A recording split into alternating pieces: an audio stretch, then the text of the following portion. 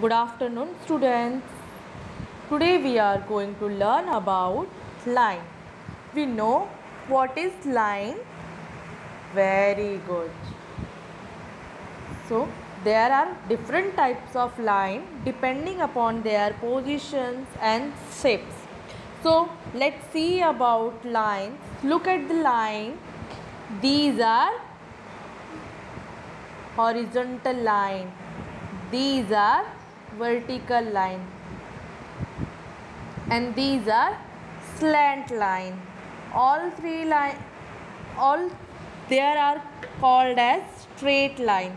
मतलब ये तीनों लाइन को हम क्या बोलते हैं? स्ट्रेट लाइन अब इस स्ट्रेट लाइन से हम शेप्स भी ड्रॉ कर सकते हैं. For example square rectangle triangle got it everyone very good so look at this line look at this line this is a curve line जिसे हिंदी में क्या बोलते हैं हम? घुमावदार.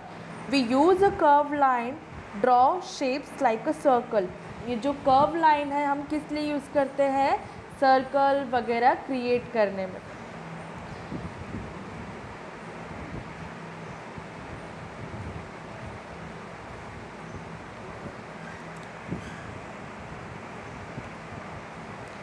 पूरा बन ही नहीं रहा।